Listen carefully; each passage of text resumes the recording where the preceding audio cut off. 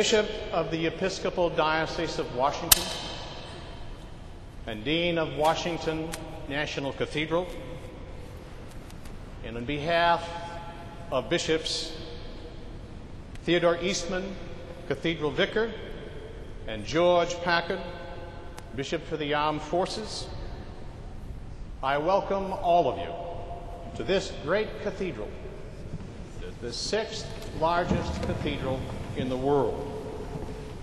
As we gather together in prayer, the spoken word, and music to celebrate the dedication of the National World War II Memorial.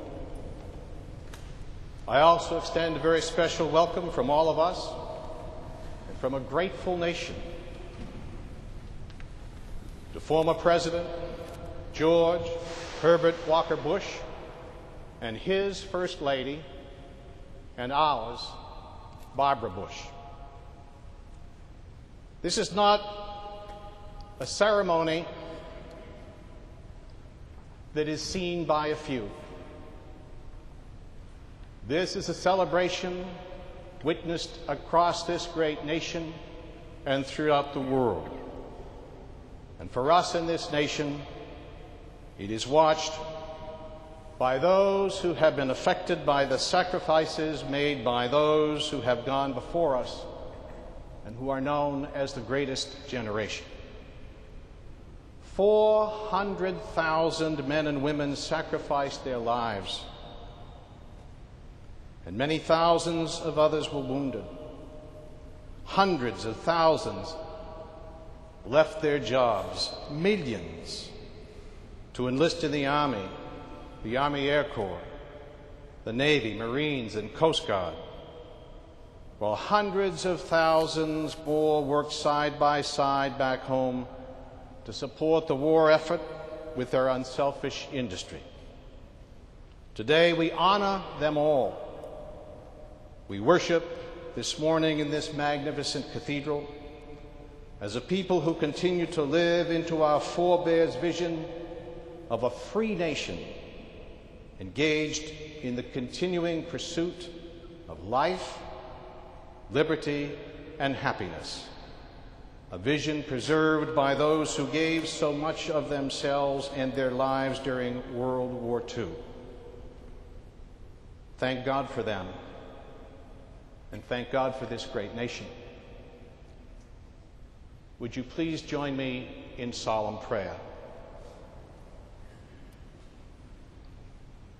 Most gracious and loving God, we thank you for gathering us today securely in your presence. As a mother eagle so gathers her young under strong protective wings. We give thanks to you for the men and women who valiantly served their country unselfishly during a time of great trial and tribulation. We remember them today for their great sacrifices, their courage, their forbearance, and in all things their efforts to bring peace and tranquility among all your children who define your human family and who are blessed in your sight. Their sacrifice will never be forgotten. We remember them all today, and we ask you to bless them, both the living and the departed, and their families. May what we say and do this day be pleasing in your sight, and may we continue to find ways through their great sacrifice to seek peace in our time as they so desperately sought it in theirs.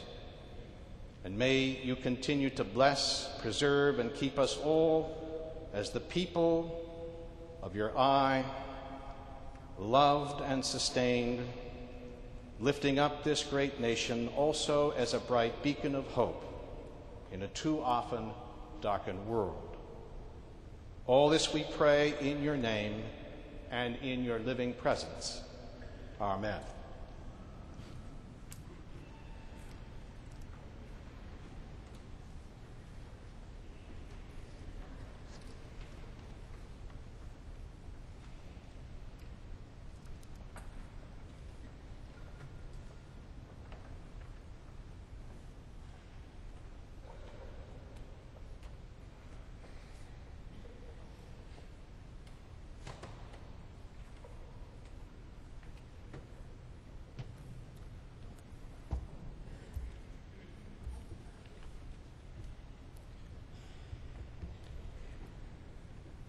On behalf of our American Battle Monuments Commission, the executive agency authorized by Congress to establish a World War II memorial, I wish to thank our Washington National Cathedral for this special service of celebration, thanksgiving, and remembrance. At 2 p.m., our National World War II Memorial will take its rightful place on the mall, precisely on the center line between two memorials honoring Washington and Lincoln.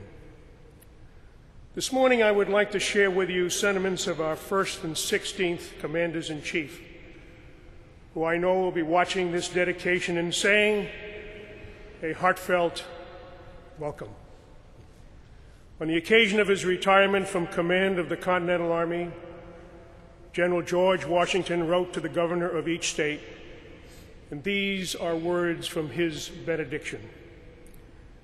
I now make it my earnest prayer that God would have you and the state over which you preside in his holy protection, that he would incline the hearts of the citizens to cultivate a spirit of subordination and obedience to government to entertain a brotherly affection and love for one another, for their fellow citizens of the United States at large, and particularly for the brethren who have served in the field. And finally, that he would be most gracious, graciously be pleased to dispose us all to do justice, to love mercy, and to demean ourselves with that charity, humility, and pacific temper of mind which were the characteristics of the divine author. Without a humble imitation of these things, we can never hope to be a happy nation. Grant us these supplications, O Lord, God of the universe. And remembering Abraham Lincoln, we all are reminded of his commitment in the aftermath of the carnage at Gettysburg. It was there that the president of our young and divided nation said, we here highly resolve that these dead shall not have died in vain, that this nation under God shall have a new birth of freedom, and that government of the people, by the people, and for the people shall not perish from this earth. It has been within the spirit of this solemn pledge that our nation has sent its most precious treasures, its sons and daughters, to human conflicts beyond our shores not to seize, not to subjugate, not to occupy, but to preserve their rights. The losses have, have been staggering. As you have heard, 400,000 of our precious sons and daughters died, another 700,000 were wounded, and also, quite significantly, there are 78,000 from World War II who are still missing in action. Let me quote now from the words permanently etched, permanently etched in the granite at the Announcement Stone of our World War II memorial. Here, in the presence of Washington and Lincoln, one the 18th century father, the other the 19th century preserver of our nation, we honor those 20th century Americans who took up the struggle during the Second World War and made the sacrifices to perpetuate the gift our forefathers entrusted to us a nation conceived in liberty and justice. God bless and guide our great nation, our land of the free, but may we always remember only so long as it remains the home of the brave.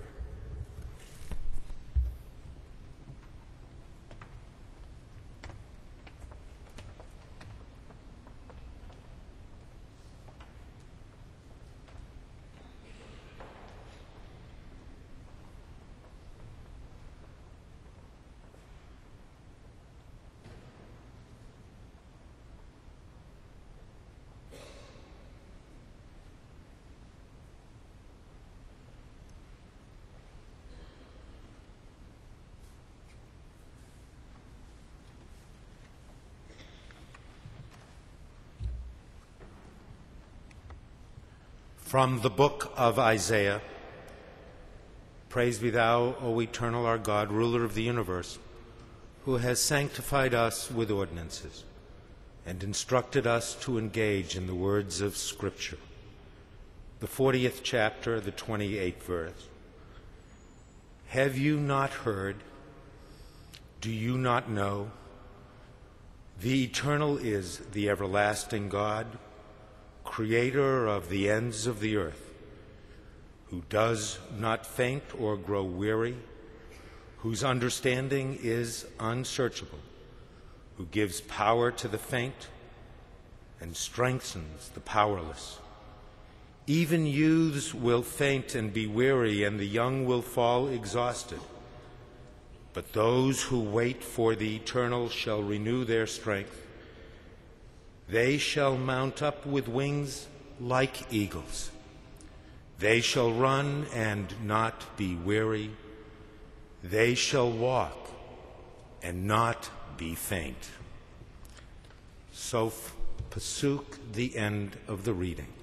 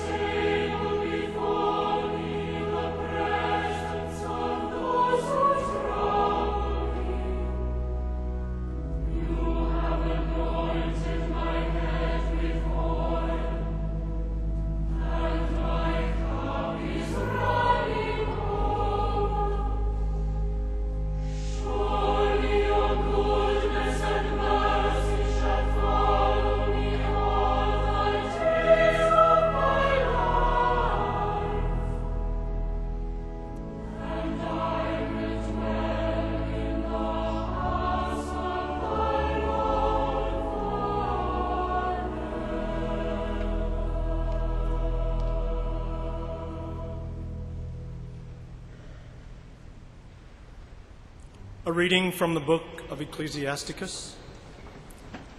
Let us now sing the praises of famous men, our ancestors in their generations. The Lord apportioned them great glory, his majesty from the beginning. These were those who ruled in their kingdoms and made a name for themselves by their valor, those who gave counsel because they were intelligent those who spoke in prophetic oracles, those who led the people by their counsels and by their knowledge of the people's lore. They were wise in their words of instruction.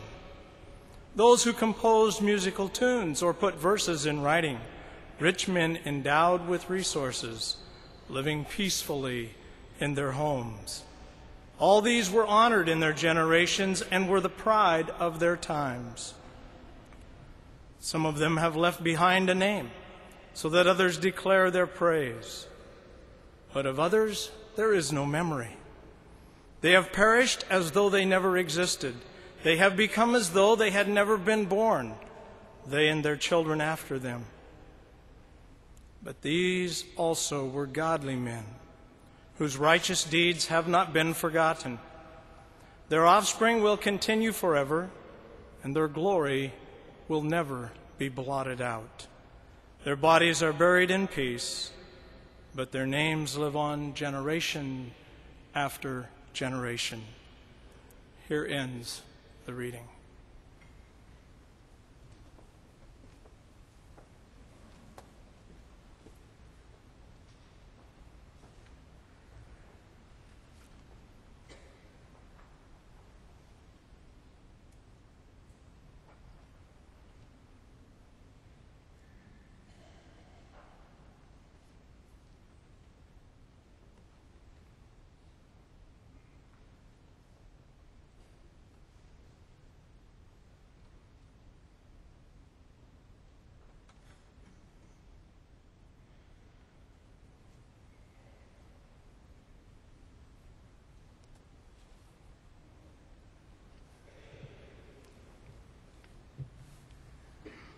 What a beautiful day and what a beautiful setting to say thank you to all those who served in World War II.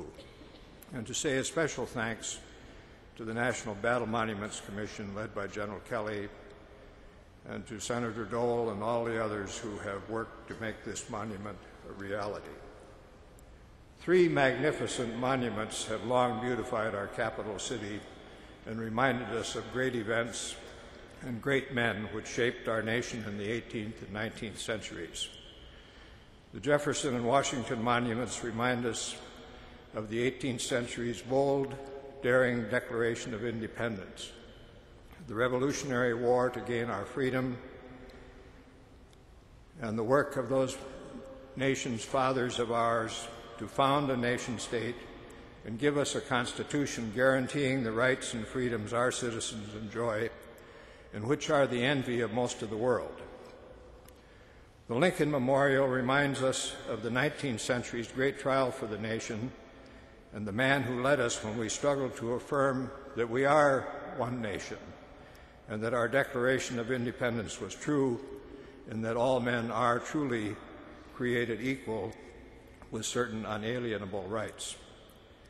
Today we'll dedicate a monument to America's 20th century efforts in World War II an event which too shaped our nation, but which also, both literally and figuratively, took the whole world apart and put it together again in a different form.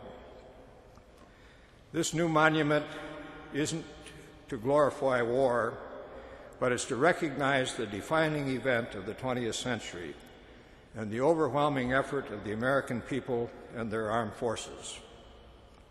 Over 12% of the population served in the armed forces, in contrast to about 1% serving today. While most of the able bodied 18 to 35 year old males uh, were in uniform, and they are the traditional heart of the American factory and farm workers, American industry was engaged in a huge effort with a huge influx of new workers, mostly women, arming us and our allies. Many shipyards were producing a ship each week. Aircraft factories were producing a, nearly 100,000 airplanes a year. Countless tanks, trucks, and cannons rolled off assembly lines operating 24 hours per day. Our farms were feeding us and our allies. 50% of the economy was going to the war effort. Nearly everyone was involved, either fighting supporting the fighters, or supporting those who supported the fighters. A million Americans were casualties. Over 400,000 died, as, been, as has been mentioned. As President Roosevelt said in one of his early post uh, Pearl Harbor addresses to the nation, we are now in this war. We are all in it, all the way. Every single man, woman, and child is a partner in this most tremendous undertaking in American history. We were led by giants giants in the White House, giants in the Congress, and giants in the armed forces. Our leaders made bold, courageous, and very risky decisions. But those leaders were also fallible humans whose decisions and plans weren't always perfect and, and didn't always pan out the way they thought they might. We who carried out their decisions were also fallible humans, And certainly we didn't do everything right, and, or as well as we might have. There were mistakes and lapses of courage and judgment. Nevertheless, both nationally and individually, we acted responsibly and we did what we could to right what went wrong. The wrongdoers, whether soldiers who committed crimes against non combatants or war profiteers at home, were prosecuted and punished. The blood and the bravery and the sweat of the many washed away the stain of the few who dishonored the nation and its armed forces. The nation's unity remained intact during the darkest, the very darkest of times, and through some truly dreadful defeats. Yet the relentless march to victory continued. Sixty years ago today, America and her allies were engaged across nearly the entire globe. U.S. Army troops in the Pacific were battling along the north coast of New Guinea. Naval forces were engaged in great sea and air battles uh, in the Marianas as Marine pre- Marines prepared to assault those islands. Merrill's marauders and the other Army troops had joined British and Chinese allies in the China Burma border region. Our Navy and Merchant Marine battled submarines to get supplies to us and our allies, including the brave Russian forces fighting great battles in Eastern Europe. In Britain, hundreds of thousands of U.S. and British troops were preparing for the monumental invasion of Normandy eight days hence. American, British air armadas were pounding targets in Germany and France. As for me and my comrades, we were with our division, the 34th, fighting in the Alban Hills on the approaches to Rome. By that time, we had been in combat nearly a year and a half in North Africa and Italy. And we had fought alongside Allied troops from Britain, France, Poland, New Zealand, Canada, India, Algeria, Morocco, Brazil, and even Italy, whom we had earlier fought against.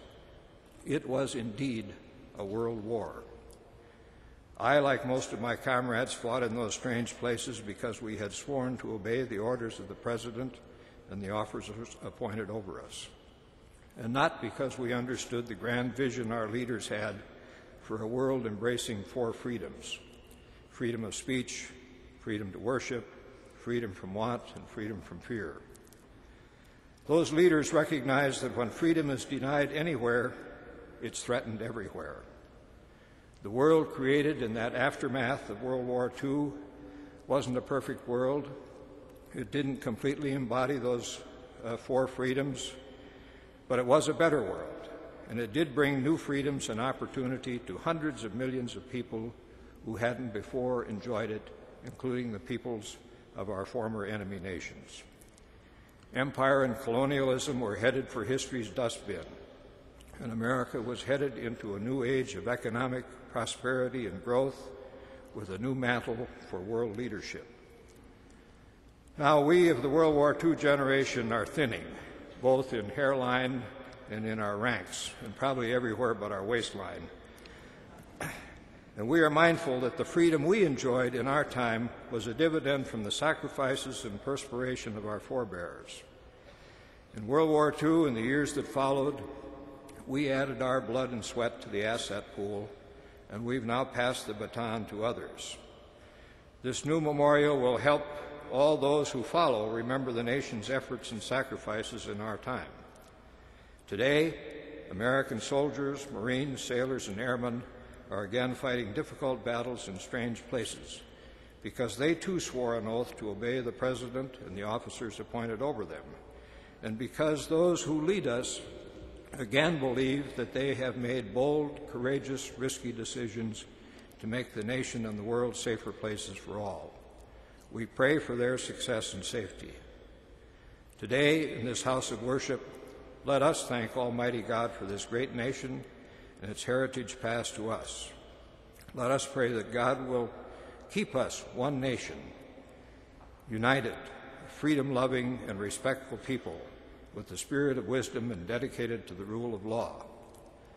Let us ask for the Lord's blessing and, and guidance upon those who govern the United States and upon all those who defend her. Before we move to the dedication ceremony for this new monument, let us also pray, as Thomas Jefferson asked, that our nation will pledge eternal hostility to every form of tyranny over the mind of man and our fellow humans.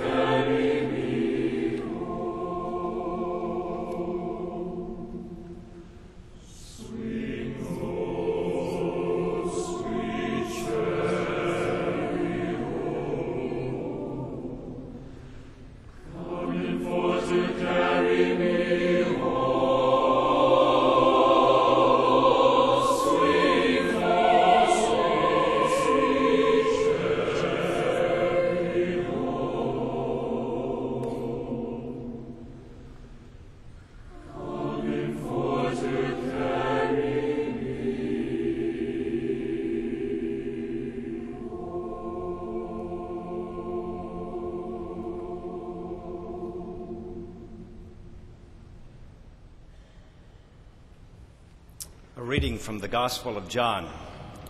I have said these things to you that my joy may be in you and that your joy may be complete. This is my commandment that you love one another as I have loved you. No one has greater love than this to lay down one's life for one's friend. Here ends the reading.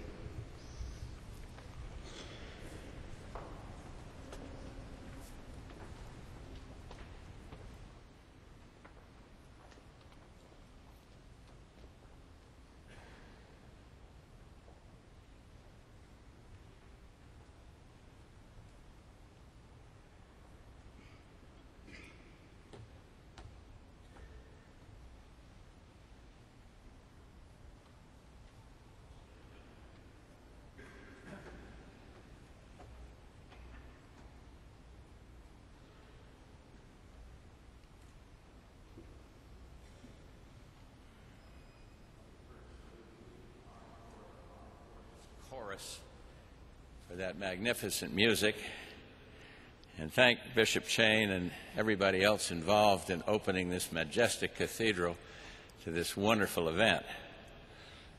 Let me start by saluting uh, Fred Smith and General P.X. Kelley, Marcy Kaptur, the Congresswoman whose legislative initiative made all this memorial possible, uh, and particularly Bob Dole, whose leadership has done so much to fulfill the dream. Uh, everyone pitched in and helped on this, various committees, uh, seeing this amazing project through, and in, do, and in so doing, uh, helping our nation honor its solemn obligation never to forget. Today, I bring greetings from my dear friend, Bob's dear friend, Jerry Ford, President Ford, himself a World War II veteran, uh, who regrets that he was unable to be here today uh, and who asked me to extend his warmest wishes to his fellow veterans. It's altogether fitting and proper that we gather this weekend and in this place to memorialize the people, places, and events that forever changed the course of history and turned back a rising tide of tyranny when the fate of the free world hung in the balance. The passage of time makes it easy to forget that the 1930s and the 1940s were decades of great danger and uncertainty in our world. Led by fanatics, the armies we faced routinely and systematically killed without remorse, seeking to destroy the institutions and freedoms that we've always held so dear. And such was their brutal, thoroughly evil nature that in hindsight their actions almost seem surreal, as if they occurred in another lifetime. And yet you need look no further than to the death camps in Auschwitz and Treblinka, or to the massacre at Nanjing, halfway around the world, to understand the true depths of their depravity. Defeating them would prove to be a difficult and deadly enterprise Winston Churchill often remarked to General Eisenhower that we must take care that the tide does not run red with the blood of American and British youth, or the beaches be choked with their bodies. In the end, the price of victory was indeed high, as Churchill feared. But today we also know that the price of defeat surely would have been far greater. All that stood between the Axis powers and their evil objectives was an ill prepared, somewhat disparate alliance of free peoples, nations that were generally slow to anger, and perhaps, if you look back, even reluctant to fight at first, but who, once provoked, were unrelenting in their mission to see justice prevail. Such was the case when history beckoned some six decades ago and thrust the next generation of American heroes into the crucible of war. These were average men and women who lived in extraordinary times. No matter their rule on the home front uh, or on the front lines, they were united. No matter the danger or hardship, they responded with exceptional bravery. Indeed, 60 years ago this very week, in what history will surely mark as one of the great achievements of mankind. Two million sons from 15 countries jumped into flak filled skies and a blood soaked surf and met death on an even plain. And on a horrible day filled with destruction, helped save the world. And meanwhile, halfway around the world, the same scene of selfless sacrifice played out on the seas, on the volcanic beaches of Iwo Jima and Guadalcanal and Tarawa, as our Navy, having recovered from the devastation of Pearl Harbor, was well on its way to defeating the forces of imperialism in Asia. Tom Brokaw, in that wonderful book uh, called The World War II Veterans, The Greatest Generation, I understand that. And I respect that enormously, given the scope uh, and the size and the stakes of the war that General Vessey so eloquently referred to a few minutes ago. But let me differ just a tiny bit. The men and women who make up our all volunteer forces fighting today in Iraq, in Afghanistan, and serving with honor and integrity in countless other locations around the world are every bit as great as any generation that preceded them. The comforts of modern society have not lessened the burdens that they have freely borne, just as their families have not been spared the constant pain of separation. The scope of World War II may, may have been greater, but the anxiety and the pain uh, is no greater. To each of those who serve, serve now, no less a debt of gratitude is owed. An inherent part of our birthright as Americans is a sacred, a sacred duty to defend freedom. And today, we as Americans, now facing this new enemy and international terror, can take solace that despite the dangers we still face in our world, a new band of brothers has stepped forward and answered this timeless, noble cause. This new generation loves America just as much as the patriots who fought in World War II, Vietnam, Korea, Desert Storm, and everywhere in between. And so tonight, when you go to sleep and say your prayers of gratitude for those who served so many years ago uh, in World War II, remember too that at that moment there are young men or women halfway around the world sitting alone in the dark waiting to go out on patrol. Uh, they may be tired, even a little bit scared, but every day they put on their uniform uh, and they lay their lives on the line for each of us to keep us free and safe. They not only make us proud, despite the uncertainty of the times in which we find ourselves, they also inspire us and give us confidence in our future. The same kind of confidence that these Congressional Medal of Honor winners uh, gave, our, gave, our, nation when they gave uh, that tribute, that devotion, many, many years ago.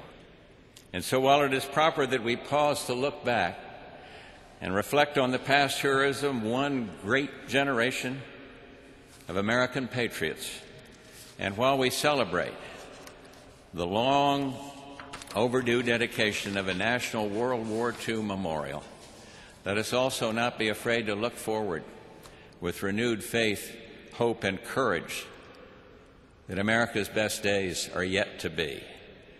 May God bless those who serve.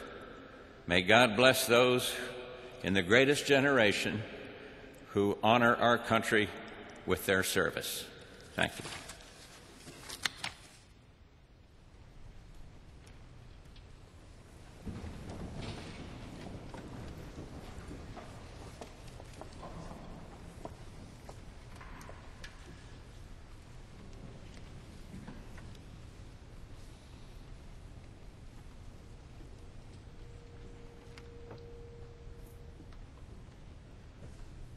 Gracious God, whose mercy lends the light of home, the smile of friends, our gathered flock, thine arms enfold, as in the peaceful days of old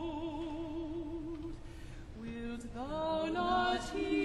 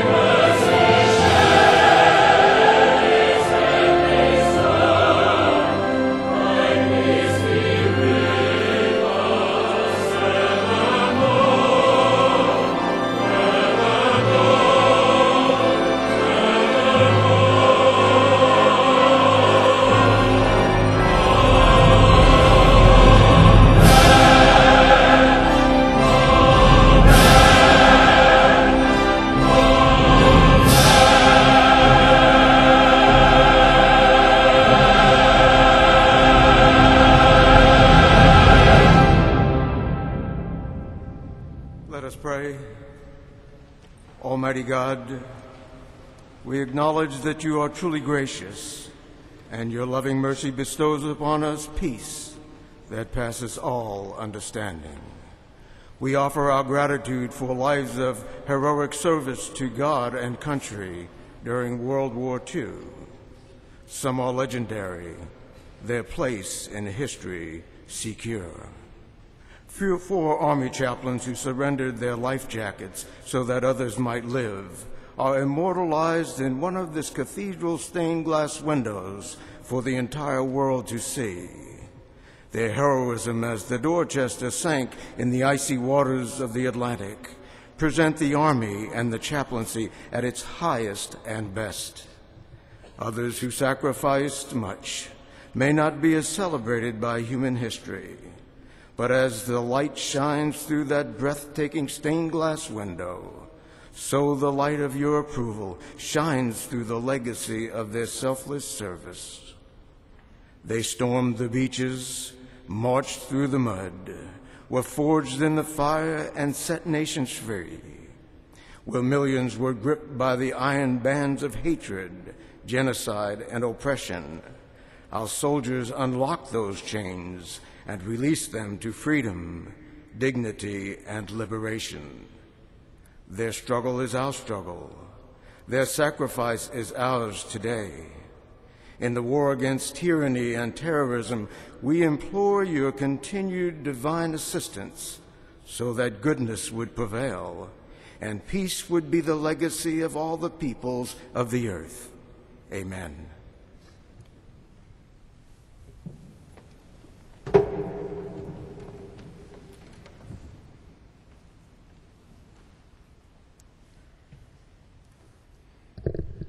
And now we continue with a prayer for those who served in the sea services in World War II, those brave servicemen and women described by the psalmist as those who go down to the sea in ships, the brave men and women of the Navy, the Marine Corps, the Coast Guard, and the Merchant Marine. Let us pray.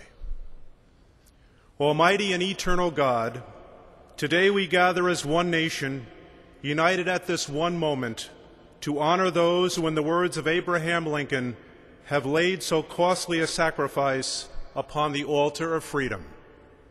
Today we remember the hundreds of thousands of Americans in the Second World War who responded to our nation's call to arms at a time of great national peril.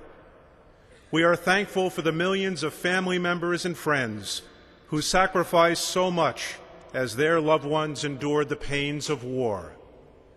These American patriots fulfilled a moral obligation to defend freedom, to fight tyranny, to eradicate genocide and evil in order to establish a just and lasting peace in their troubled world. We mark in a special way our service members who served in the Navy, Marine Corps, Coast Guard, and Merchant Marine.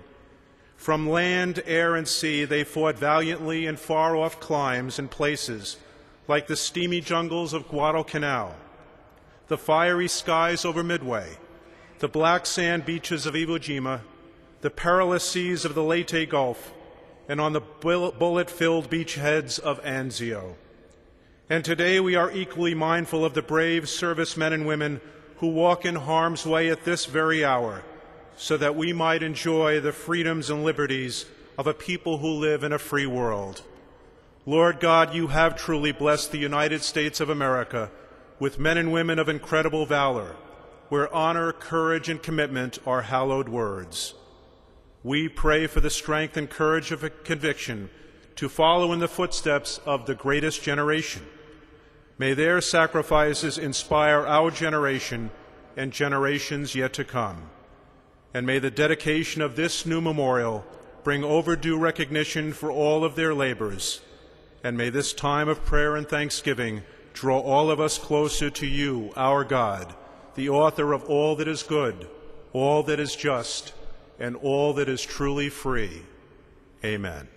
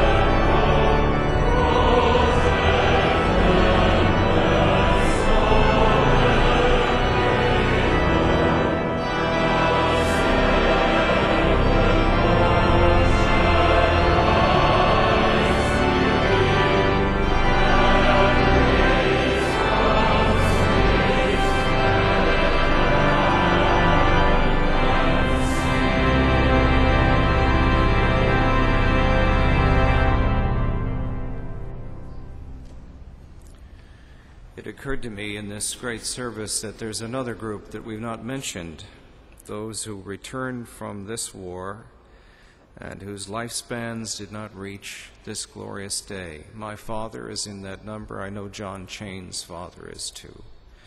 What noble service, what noble people. Let us pray. Lord, though this war is past, its great legacy is ever with us.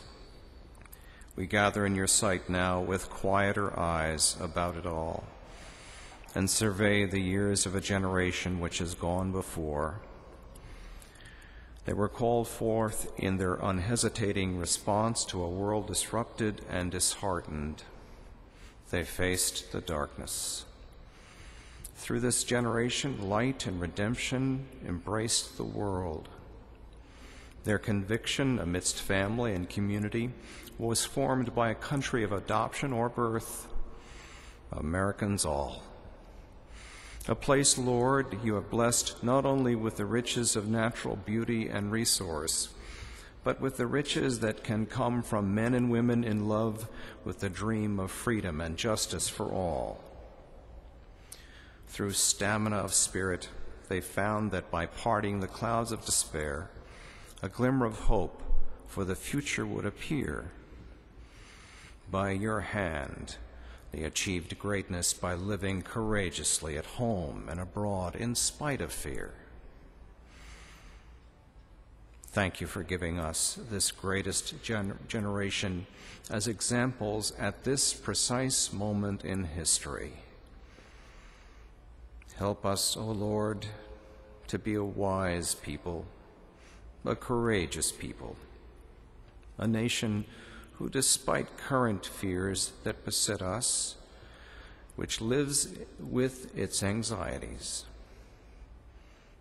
may fear not become fearsome among us. We learned in part from them that our faith will never grow beyond our confession of confidence in you. Help us to find and rely on those reservoirs of faith once again we stand before you in this open moment. We ask this in your holy name. Amen.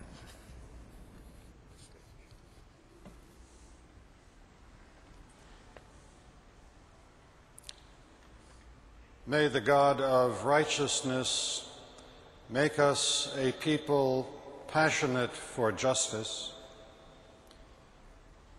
May the God of compassion Enable us to suffer with all who are afflicted. May the God of mercy teach us to forgive those who have done us harm. May the God of peace grant us tranquility in our hearts and concord among the peoples of the earth. And may the blessing of a gracious and loving God be upon us, upon this nation and its leaders, and upon all of God's world, now and forever. Amen.